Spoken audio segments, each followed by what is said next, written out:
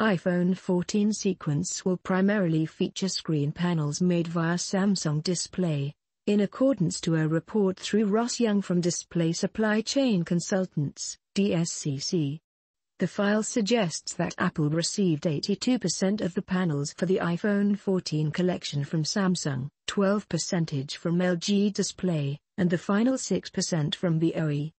Furthermore, the iPhone 14 Pro Max models are speculated to solely function Samsung panels.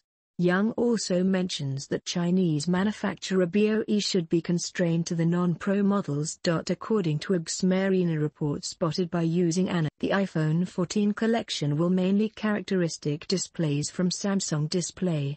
LG Display and BOE are reportedly also offering displays for Apple's upcoming iPhone models.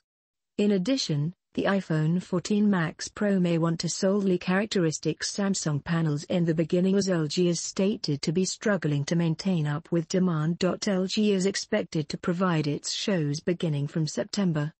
Meanwhile, BOE is reportedly limited to providing screens for non-Pro units.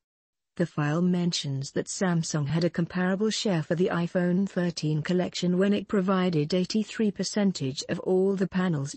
Young suggests in the DSCC file that Apple may want to be making ready to procure at least 34 million gadgets for the first three months of iPhone 14 sales. Apple is set to maintain a distinctive launch tournament on September 7, the place we could see the arrival of the iPhone 14 series, Watch Series 8, and new iPad models.